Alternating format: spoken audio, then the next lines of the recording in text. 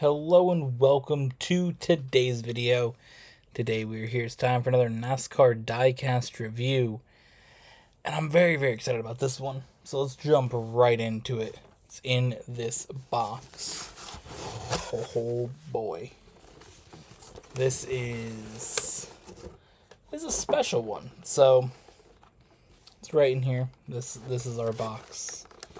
It is the Martin Truex New Hampshire race win from 2023. So let's look at that. Now, before we fully dive into the car, we do have within the box the information. Not that, that's build your own garage. That's the win sticker. Of course, every race win. For all the series, you do get a win sticker. So that's pretty cool. Of course, it has the 75th anniversary logo in the middle of it.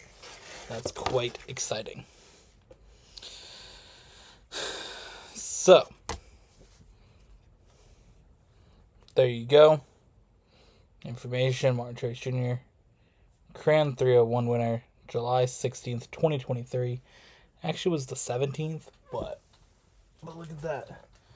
We even got the pin from the race. Because, of course, for those of you who don't know, I went to this race. That's why I got the diecast. Um, it was the first NASCAR race I went to in 10 years.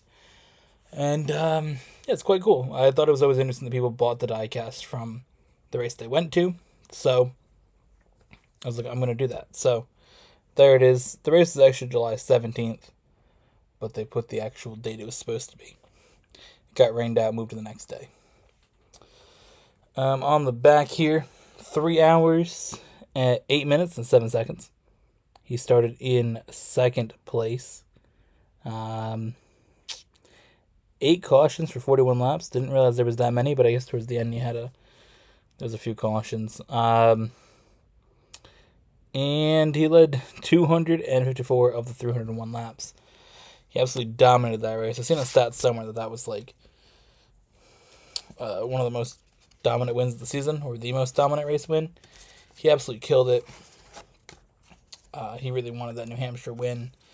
believe he had the most laps led of anybody that hadn't won at New Hampshire, so uh, he wanted to go out there and and get that W. So, again, this is the track that I've the only NASCAR track I've been to. See a Cup race. I have seen four Cup races in person. Um, but I never got the diecast from it. Because to be honest, I don't even think they made the diecast from some of those um, race wins. Let me know if they have made the diecast from uh, Joe Logano winning 2009, Greg Biffle winning in 2008, and uh, Brian Vickers winning in 2013. Let me know if there's race wins of those around, if anybody's seen them or if they know they exist or not. But um, I'll be on the lookout for those if they are. But Martin Truex race wins. So a lot of confetti on it. Very very cool. Um, this is the second car that I had this like really covered in confetti. I have a few that have a decent amount. There's a Kevin Harvick one that has a few pieces on it.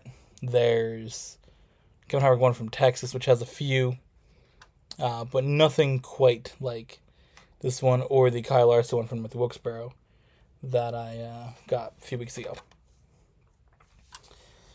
Um, what else is there that's cool, notable about it? I mean, I like the colors of the confetti. It's a little bit different, yellow and blue compared to your more um, red and white that you see.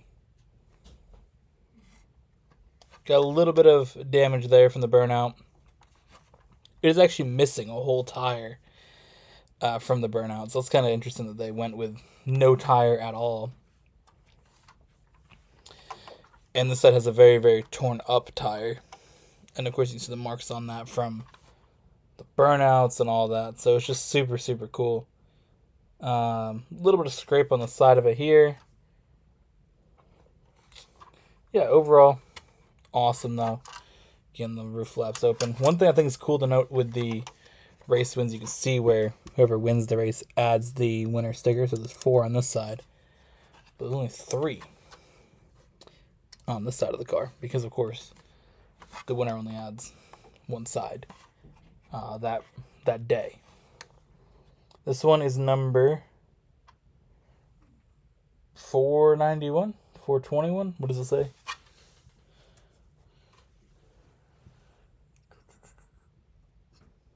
Oh my god, I can't see it. Pretty sure. It's 431. Okay.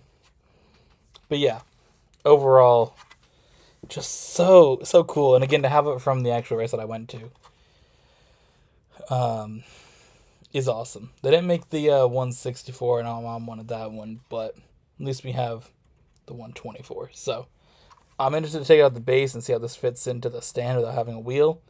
I'm assuming by the fact that it has a diffuser, it will be able to kind of balance at least semi decently on that, but I decided to open it up and uh, throw it in the shelf. So that is that the win, uh, Martin Truex race win from New Hampshire in 2023.